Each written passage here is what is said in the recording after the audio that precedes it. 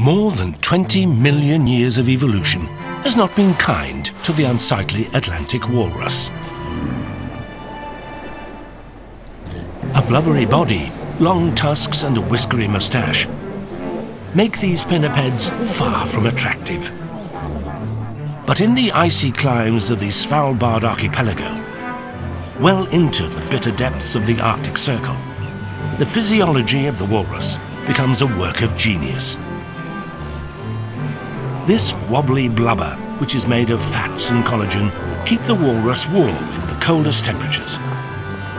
More likely to overheat than be too cold, walruses can thermoregulate by sending blood to their skin.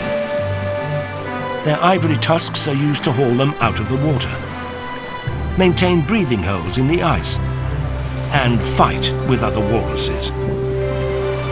And those whiskers, those majestic moustaches, come in handy when combing the seabed for tasty bivalves and invertebrates. Perhaps it will take another 20 million years for Atlantic walruses to find sunbathing spots away from their fidgety friends.